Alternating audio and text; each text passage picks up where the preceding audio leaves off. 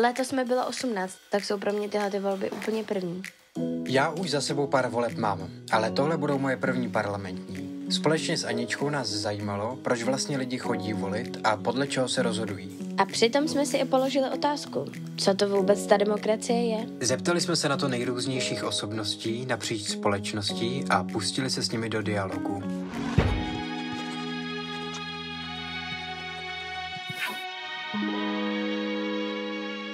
Tak ahoj, já vás tady eh, všechny vítám. Nazdar!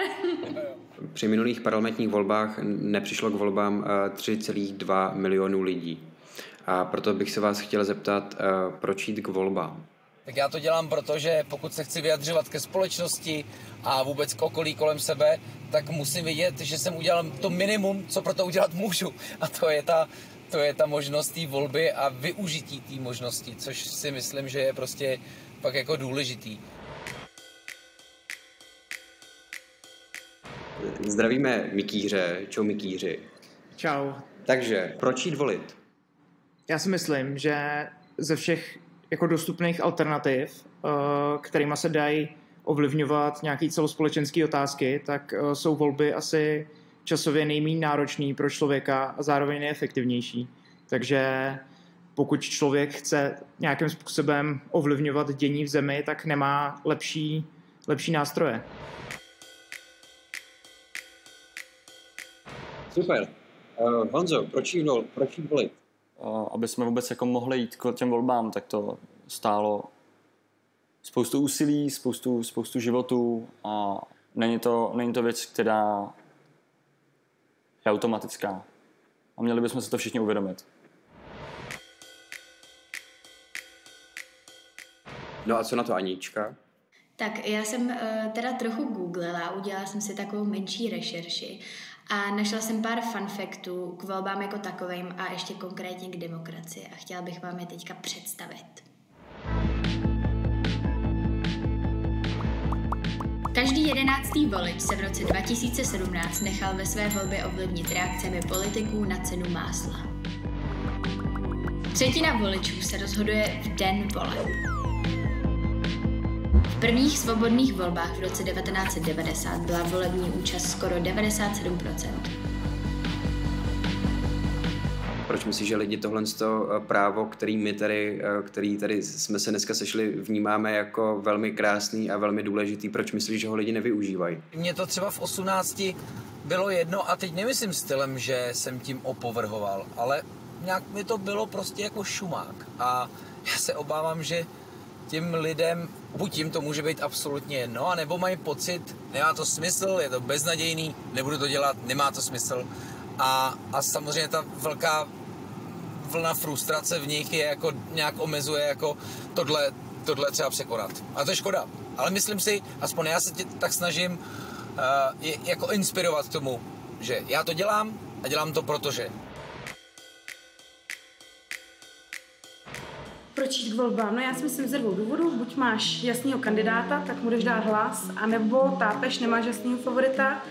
A tam si myslím, že důležitý k volbám taky přirovnal bych to na svoji profesi, dělám kadeřnici a někdy uh, klientka chce třeba změnu, ale neví jakou. A tak si začínám tu konzultaci z druhé strany a ptám se jí, co nechce. A to ví každý vždycky stoprocentně, co nechce. A proto si myslím, že je důležitý k volbám, abys vlastně potlačil to, co tady nechceš mít. Tím, že jsem krámský a hospodařím se svýma penězma, který vydělám, tak vlastně denodenně vlastně platím daň, koupím si rohlík, platím daň, vydělám peníze, platím daň. To je potřeba si uvědomit a proto je podle mě potřeba, a je to i právo, jít volit a měl by to udělat každý rozumný člověk, který si váží svých peněz. Pokud chceme být součástí toho rozhodování o našich osudech, tak člověk by volit měl. Aničko, uh, kde bys nám řekla, co je to tedy ta demokracie? Myslím si, že demokracie je uh, věc, bez které se neobejdeme, abychom všichni mohli fungovat spolu, svobodně a, uh, a, a v klidu. Uh, Mikýři, co je to ta demokracie? Já jsem nad tím přemýšlel a dostal jsem se do styku s pár lidma, který nevěří v demokracii a myslí si, že to je špatný systém, že není efektivní. A tak jsem se nad touhle konfrontací s těma, s těma lidma zamýšlel A vlastně pro mě na demokracii je strašně důležitý to, že v případě potřeby je možný uh, lidi, kteří vládnou a kteří mají moc, jako efektivně vyměnit. A to se dělá v jakýmkoliv jiném systému hodně těžko a ty lidi se brání odejít. Takže uh, tohle je důležitý aspekt uh, demokracie pro mě, který jsem chtěl tady vypíchnout. Co to vůbec je ta demokracie podle tebe? Docela dost o tom teďka přemýšlím, že jo, zvlášť v posledních dvou letech, kdy nás jako ovlivnila jako covidová vlna, kdy teďka jako uh, očkování se v podstatě staly nové volby. Jako kdyby někdo uh, si mohl myslet A, ale přitom respektoval B a v obráceně. Ale to je právě ta demokracie, abychom se spolu dokázali bavit, aby jsme přesně měli to právo něco říct, něco udělat, aby jsme se kvůli tomu necítili nejenom špatně, ale aby jsme se u toho cítili svobodně. A taky si k tomu hledám svůj názor a, a přesně nesnažím se upnout na jeden, snažím se víc poslouchat víc hlasů a taky nehledat e, informace e, na, na YouTube a, a na Facebooku. Ale to všechno je vlastně pro, pro mě ta demokracie. Dokud to můžeme dělat a dokud to všechno můžeme dělat svobodně a, a, a níst i tu zodpovědnost za to, co děláme, tak to všechno je pro mě demokracie.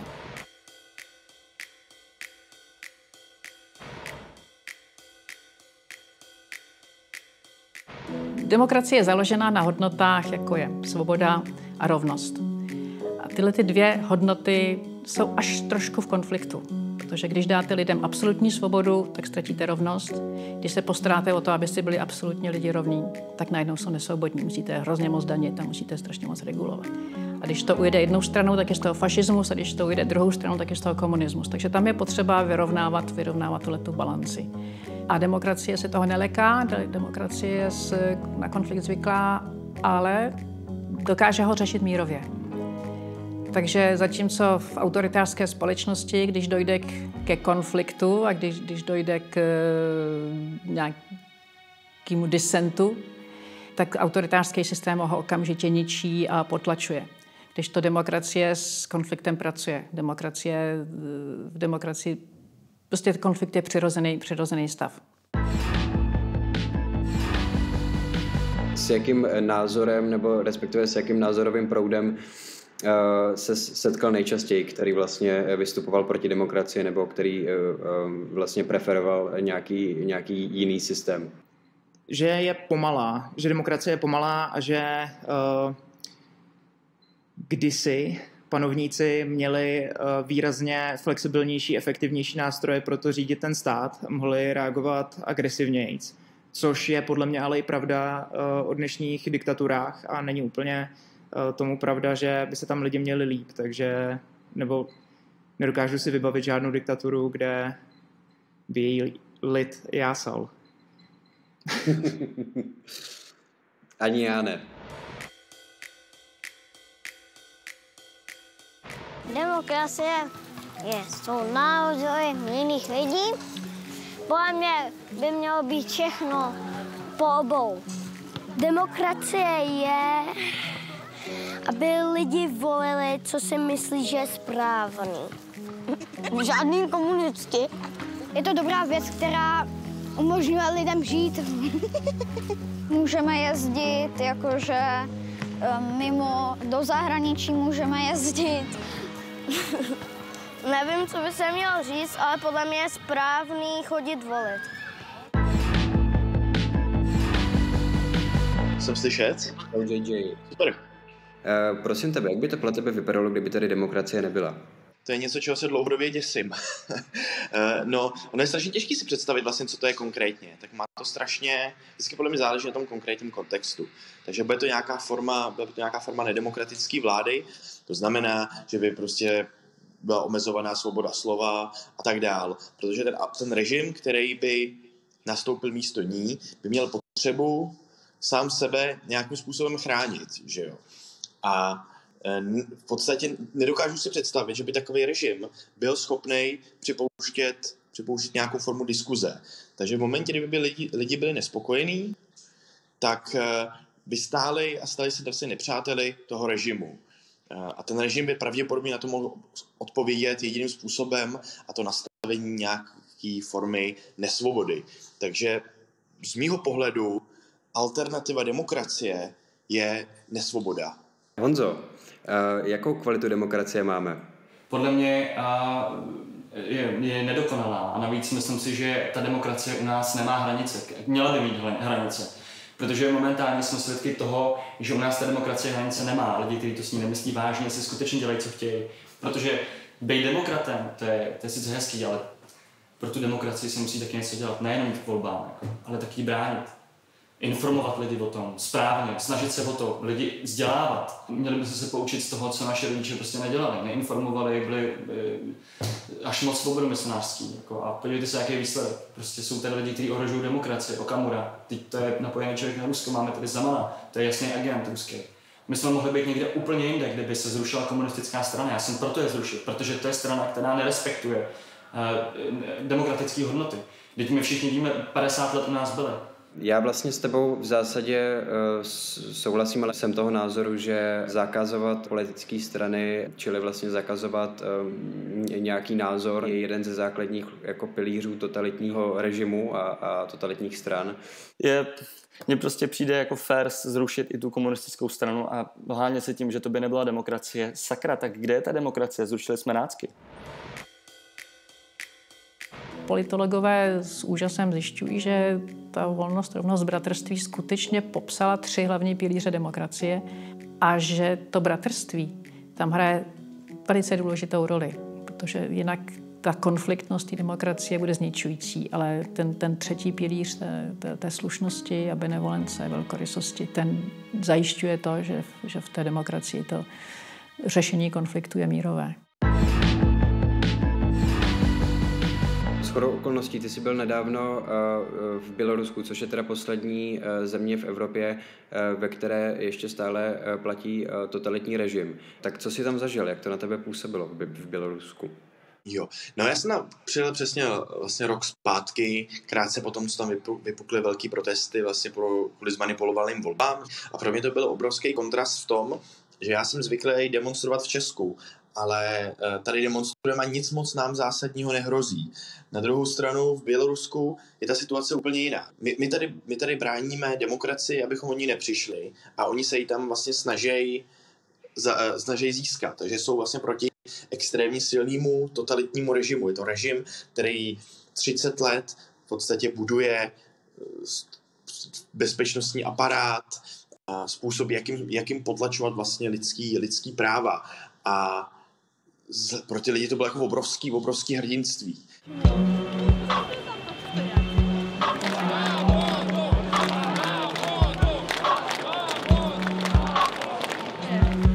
Teď jsme v Minsku na náměstí nezávislosti a sledujeme neděle, jsou tady ty velké protesty, protesty proti Lukašenkovi, už je to ze třetí týden v kuse.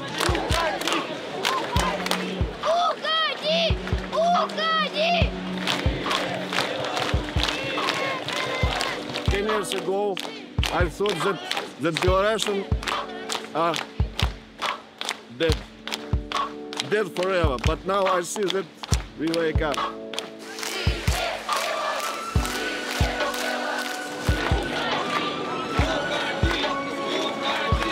We want to, to stand for freedom and um, make our, our people to be free.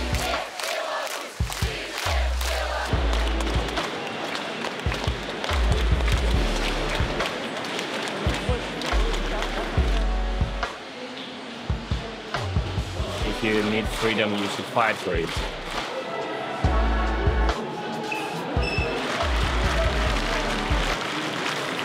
Uh, like all people who protested right now will maybe go to the prison, maybe have a fee, so yeah, there is only one way. So yeah, Vietnam.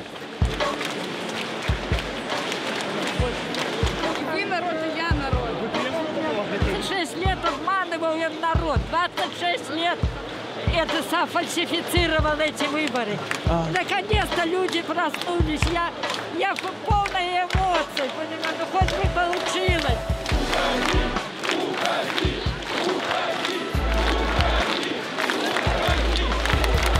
A já osobně jsem tam cítil obrovský strach z toho, že jsem vlastně nevěděl, jak silný ten nepřítel, že jo? protože jsem tam přijel jako cizinec, té době Lukašenka říkal, že ty protesty jsou organizované z Česka, jo, z nějakého důvodu, a my jsme tam přijeli a začali jsme točit, že jo. A vůbec jsme nevěděli, jak vlastně ta, ta, ta místní KGB, jaký, jaký má prostředky, jestli nás je schopná špehovat, jestli nás opravdu reálně špehují nebo ne, kolik na to mají lidí, co nám reálně můžou udělat. Jo, fakt jsem se třeba nechtěl, nechtěl strávit uh, jako zbytek života v běloruském vězení a to jsou vlastně věci, které se jako relativně mohly stát, jo. Protože to je právě, to, to, to, to je ta nesvoboda, jo. Tady vím, že prostě když udělám ně, něco, trestního, tak prostě za to dostanu nějakou jako přiměřenou sazbu podle zákona. Tam nikdy nevíš. Tam je prostě, tak, ta, ta nesvoboda znamená, že jsi jako nikdo. И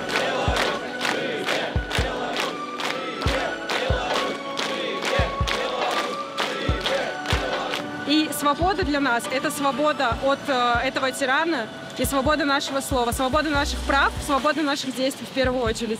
Для нас свобода – это дома все спокойно, и ты не боишься выходить, Выходить на, на улицу и говорить то, что ты хочешь говорить. Very, very afraid to go to the elections. Да, нам очень страшно. Когда на улице постоянно куча военных, куча ОМОНа, э, спецназ, задействованы все военные силы. Когда тебя А, не защищают, Они нас не защищают, а бьют, стреляют, бросают гранаты, убивают нас. И как не бояться жить в этой стране?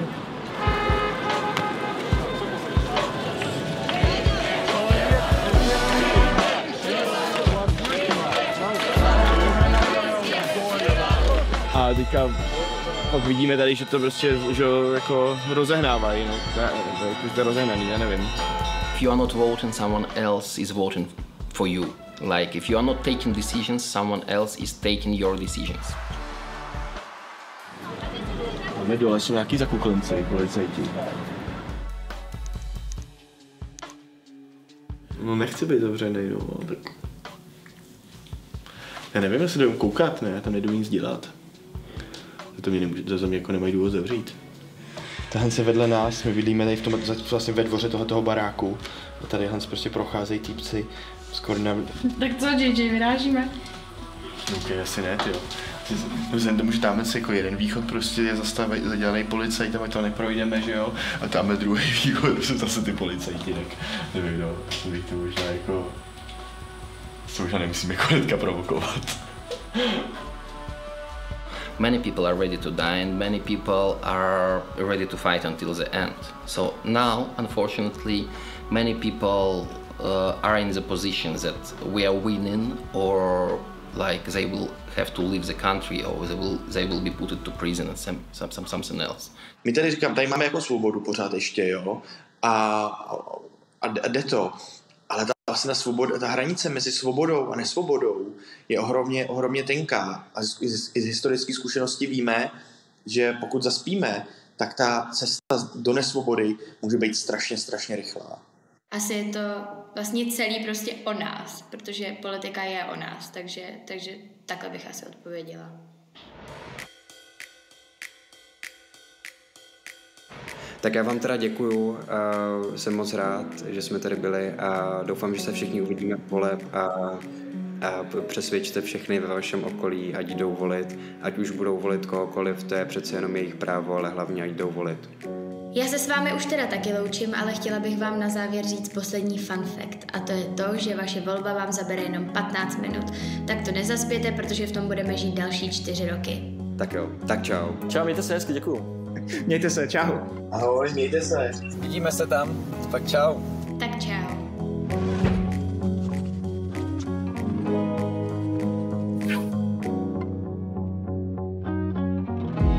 Tak Aničko, eh, řekni nám, jak teda volit? Tak i tohle jsem teda pogooglila a našla jsem, jak volit, co je potřeba a jak to dělat. Za prvé, je určitě důležitý vědět, že musíte jít volit do svého volebního okrsku, kde je vaše volební místnost. O tom, kde ji najdete, se dozvíte buď teda z hlasovacích lístků, který vám přijdou domů, nebo se můžete třeba podívat na web svojí obce nebo města, kde je umístěna volební místnost pro vaši ulici. Většinou je to blízko. Za druhé, co tady máme? Volbám určitě potřebujete občanský průkaz a hlasovací lístky, které vám přišly domů. Hlasovací lístky můžete když tak sehnat i na místě, ale občanský průkaz si nezapomeňte. No a jak to teda funguje? Prostě přijdete, ukážete tu občanku, kterou jste si nezapomněli, oni si vás očkrtnou, jdete za plentu, kde si vyberete hlasovací lístek, strčíte ho do obálky, no a prostě to šoupnete do urny. A ještě je tam takový bonus. Kroužkování. Na hlasovacím lístku můžete udělit až čtyři preferenční hlasy. A to tak, že zakroužkujete pořadové číslo u daných kandidátů. Tím máte možnost podpořit svého oblíbence nebo v případě koalic třeba i stranu.